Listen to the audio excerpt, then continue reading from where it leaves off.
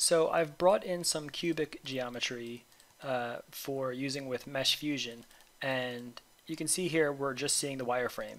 So uh, before we can even get started with Mesh Fusion I'm just going to change the shaded mode from wireframe to default.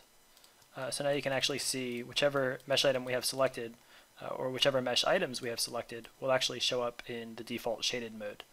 Um, now if you want all of your uh, mesh items to show up regardless of whether they're selected or not, uh, there are a few different ways to do this. We can press Control 1 to bring up the main pie menu, and if I choose the bottom left uh, option, which is toggle background shading, uh, then all of our uh, mesh items, regardless of whether they're selected or not, uh, will appear shaded. We can also press Control 2 to change from wire to default.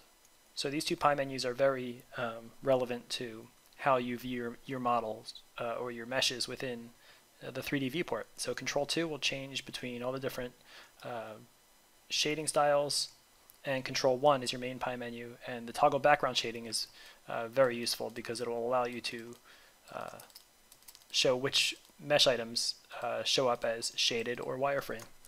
So um, you can also press the O key while uh, your cursor is within the 3D viewport and that brings up the 3D viewport properties. If I just click this little circle icon to pin this panel, uh, we have an option here in this side tab called inactive meshes. If I click that, at the very top we have an option called make inactive same as active. So if I toggle that on, it's the same thing as pressing Control 1 and choosing toggle background shading. So that is the same exact thing. Now there's also an option if you are going to work with Mesh Fusion. Um, there's a preset here uh, called Model Fusion. If I select that, uh, it actually just prepares your entire viewport for working with Mesh Fusion, which is pretty nice. So now I can just select a mesh item, uh, Control F to bring up the Fusion Pie menu, new fusion with selected and then I can just drag this onto the primary and you, are good to go with Mesh Fusion. Now we can start just uh, you know creating some models using Mesh Fusion.